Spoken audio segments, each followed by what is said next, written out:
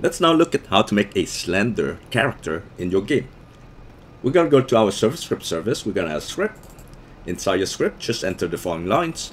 Again here we have a player added event, a character added event, and we're waiting for 8 seconds before we change the character into a slender character. Basically we're just using the body height scale to make the character taller and when the character is taller then the character is gonna look to be thinner.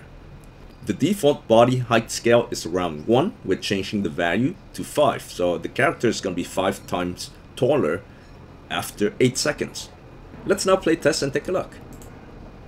So give it 8 seconds, and you see this is my normal character. In 8 seconds, I become a slender character.